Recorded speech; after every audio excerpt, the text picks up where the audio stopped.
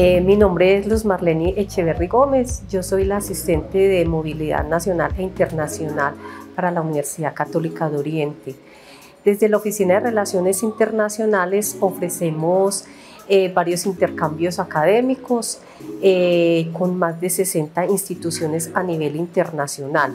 Manejamos también a nivel local el programa de movilidad académica Paloma, eh, también tenemos convenio con la RUC y con la FIUC. Eh, manejamos plataformas a nivel internacional como son la plataforma de INILAB y la plataforma PILA, en donde pueden aplicar todos los estudiantes activos de nuestra institución. Además, los profesores de tiempo completo, medio tiempo y los administrativos que quieran postularse para algún eh, tipo de intercambio académico.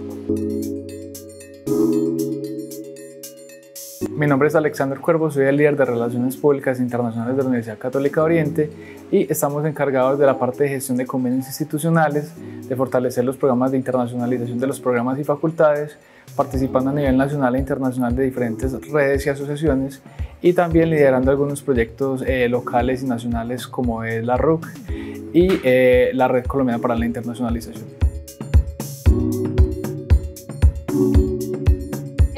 Servicios al Egresado de la Universidad Católica de Oriente no solo busca apoyar a nuestros egresados en su vida profesional y personal, sino también crear unos vínculos afectivos a largo plazo entre la universidad y ellos.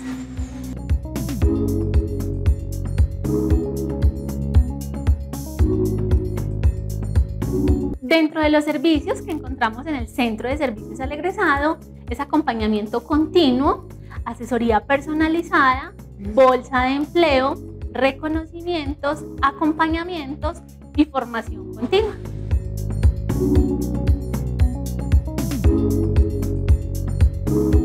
Hoy quiero compartir con ustedes información muy importante sobre el requisito de lengua extranjera para acceder a la graduación en su programa de posgrado. Si eres estudiante de la especialización en pedagogía y didáctica, debes de cumplir con el nivel A2 del Marco Común Europeo en las competencias de lectura y escritura. ¿Cómo cumplir con este requisito? Hay varias opciones. Una de estas opciones es realizar cuatro cursos con el Centro de Idiomas para validar ese nivel A2 de competencia en el Marco Común Europeo.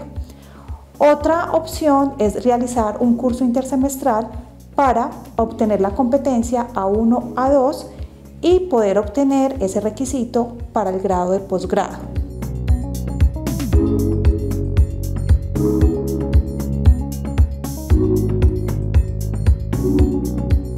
Otra de las opciones es realizar el curso de lectoescritura, el cual ofertamos en el intersemestral y que tiene una duración de 60 horas de trabajo remoto y trabajo independiente. Otra de las opciones para cumplir con ese requisito, si tienes conocimientos previos, es realizar prueba interna de lectoescritura para homologar las competencias A1 y A2. Bueno, ahora si eres estudiante de maestría o doctorado, el requisito es mucho más avanzado.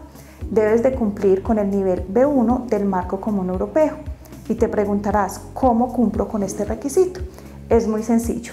Si has realizado nueve cursos con el Centro de Idiomas durante tu programa de pregrado, estos nueve cursos te servirán para homologar el requisito de la competencia de lectura y escritura para tu programa de posgrado.